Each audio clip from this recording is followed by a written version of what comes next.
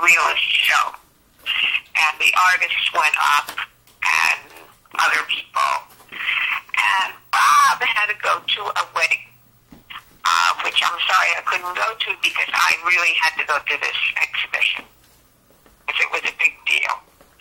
So Bob comes home and says, you know, the funniest thing happened, Audrey.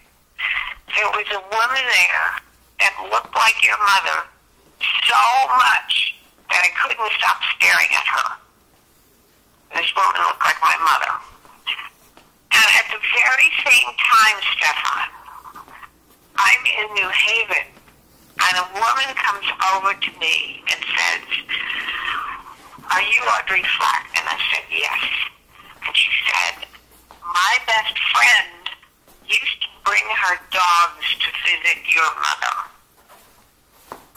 Now, Wow. what do you think that means? Well, it sounds like your mother's spirit is trying to come through.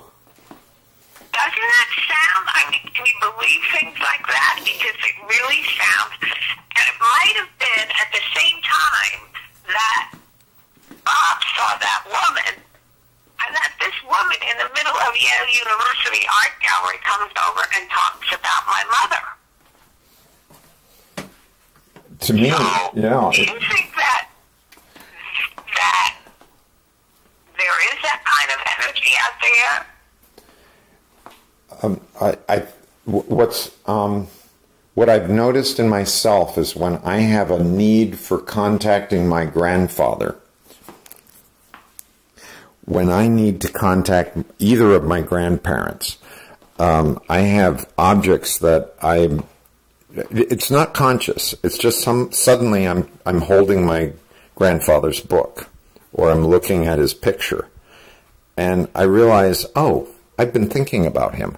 Because one of the joys about having a very cluttered lifestyle is that I can just walk through a room with 2,000 objects in it and ignore most of them, right?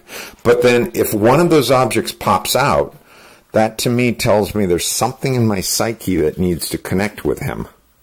And, um, Well, that I can understand. But this had nothing to do with me.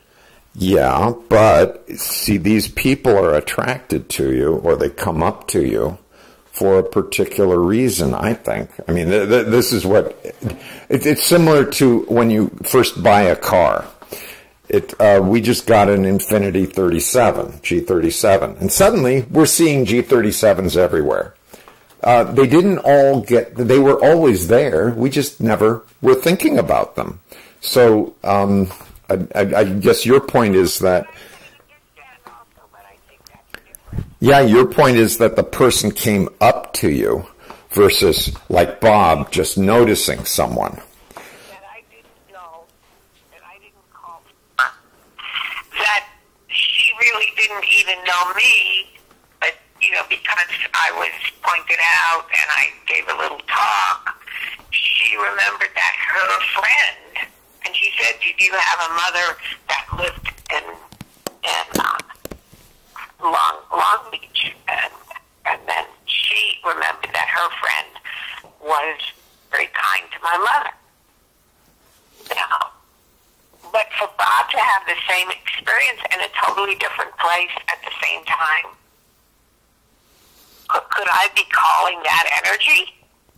Um, Audrey, you are disrupting my ability to hold the universe together. It, by these questions, if I, no, I'm, I'm quite serious. I don't delve into these things because it distracts me from what my life purpose is.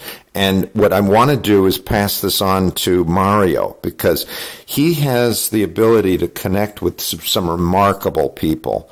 And I think that he may have an answer for you. How about that? Well, it's interesting. I mean, I, I, I think there is a physicist, uh, what was his name? Oh, I can't remember his name, but he talked about morphogenetic fields, that anything that ever existed is still out there in an energy form. Is that someone like Humphrey Dyson or Dyson Freeman Dyson or something like that? No, he was British. Okay. Anyhow, anyhow, I will be for you there for you. You let me know, and I wish you a wonderful um, period of teaching. Yeah. And and how is my friend uh, uh, Janice? Well, she's going to um,